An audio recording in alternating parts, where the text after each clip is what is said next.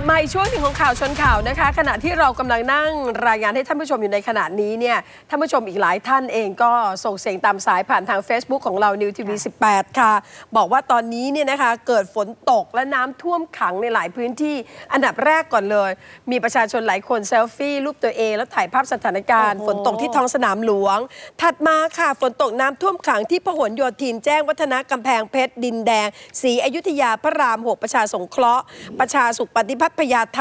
คือการจราจรวันนี้กรุงเทพชั้นในติดขัดหมดเป็นสุขนรกค่ะ รถเคลื่อนตัวช้า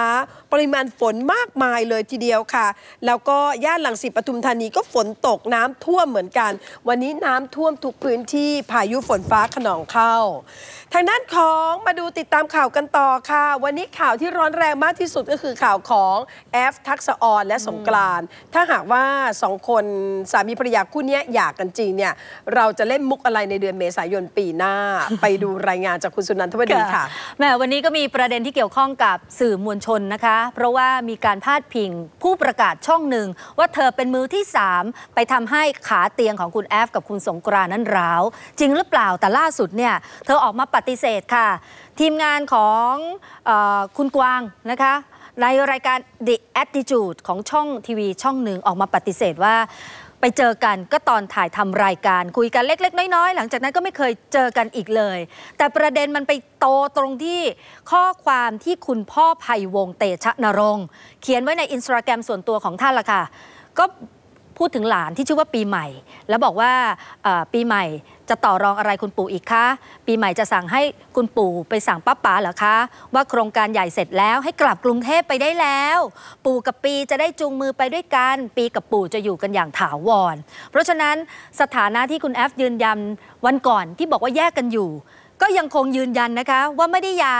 เขายังเป็นสามีภรรยากันที่แยกกันอยู่ แต่กรณีมือที่ 3 วันนี้ โอ้โห นักขุดคุยในโลกโซเชียลก็ไปประกอบเรื่องราวต่างๆ มาเชื่อมต่อกันสิคะพี่ปองค่ะจนทำให้พุ่งเป้าไปที่ผู้ประกาศคนหนึ่งค่ะ น้องขวางค่ะ ดีนะค่ะเนี่ยไม่ใช่ช่องเรา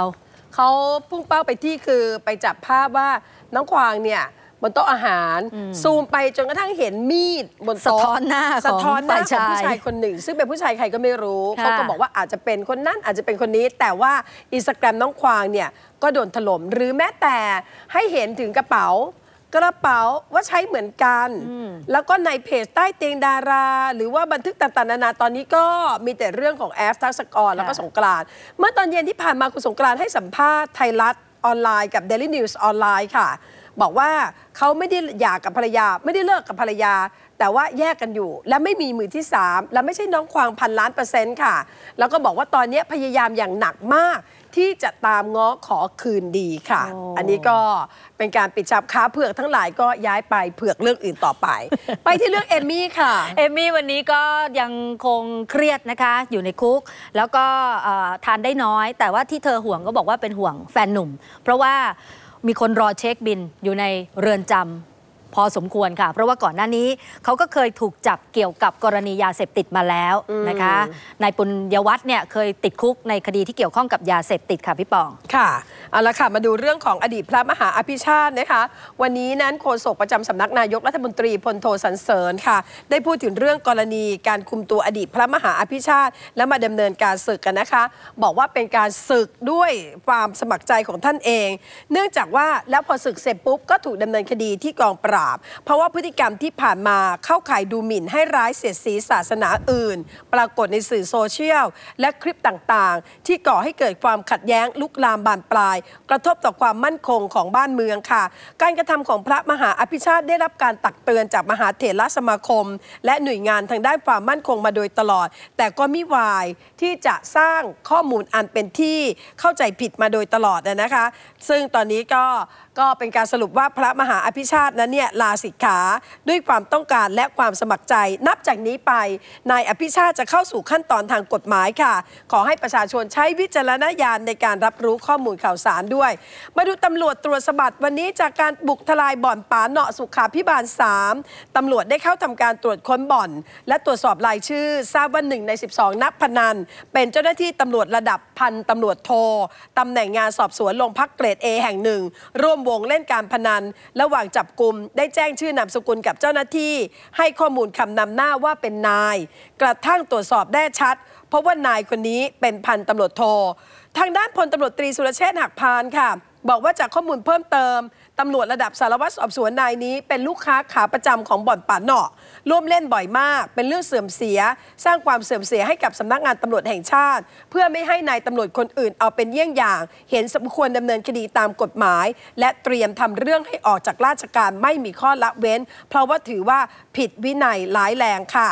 มาถึงอีกเรื่องหนึ่งค่ะ เรื่องไข่แก้บนค่ะค่ะณสุนันทวดีและท่านผู้ชมทราบไหมคะว่า ที่เอ่อวัด โสธรเนี่ยจะมีการแก้บนด้วยไข่ค่ะแล้วเวลาแก้บนเนี่ยแก้บนที 30 ฟอง100ฟอง 200 ฟอง คือจะมีคนขายไข่ต้มเนี่ย ที่หน้าวัดเยอะมากค่ะก็มีคนไปซื้อไข่ต้มมาแก้บน แล้วก็พบว่าเขาถูกหลอก เพราะว่าถาดหนึ่งเนี่ยไข่ในสภาพดีมีน้อย สภาพไม่ดีมีเยอะมากเวียนเทียนไข่ใช่ค่ะ ก็เลยทำให้เกิดเหตุเรื่องบนโลกออนไลน์วันนี้ค่ะทหารเนี่ยก็ไปตรวจสอบค่ะ ก็พบว่าเจ้าของร้านเนี่ยไม่อยู่ร้านหรอกแต่เขาก็แจ้งว่าอย่าทำอย่างนี้อีกนะเออเขาก็บอกขอโทษแล้วแล้วก็จะเอ่อไปไปขอค่ะชดใช้ให้ ปิดท้ายกันในเย็นวันนี้นะคะรถขนหมูพลิกคว่ำค่ะ มาดูเหตุจราจรนครปฐมนะคะนครปฐมเนี่ยนะคะนอกจากจะตำรวจ 3 คนโดนจับแล้วเนี่ยรถขนหมูพลิกคว่โอ้ำแล้วคว่ำเนี่ยหมูเนี่ยกระจายไปทั้งถนนเลย บางตัวตายหมูได้รับบาดเจ็บโอ้ค่ะน่าสงสารมากเลยล่ะค่ะแห ทั้งหมดนี้เป็นข่าวชนข่าวในวันนี้นะคะ หวังว่าทุกท่านจะเดินทางกลับบ้านโดยสวัสดิภาพค่ะ ค่อยเป็นค่อยไปไปก่อนใจไปก่อนเนี่ยเดี๋ยวตัวก็ถึงค่ะ แล้วกลับมาเจอกันใหม่อีกทีวันจันทร์ดูย้อนหลังได้ เดี๋ยวเราอัพทันทีหลังจากจบรายการเลยนะคะ ที่ YouTube New TV 18 เย็นนี้สุนันทบดีกับอัญชลีลาไปก่อน แล้วเดี๋ยวอย่าไปไหน 18 นาฬิกาเจอกันอีกครั้งหนึ่งในหมายข่าว New ค่ะ TV กับสันติสุขมะโลงศรีสวัสดีค่ะ